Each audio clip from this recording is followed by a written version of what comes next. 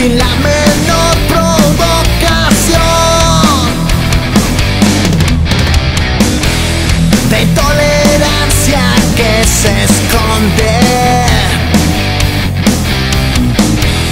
De hipocresía sin razón.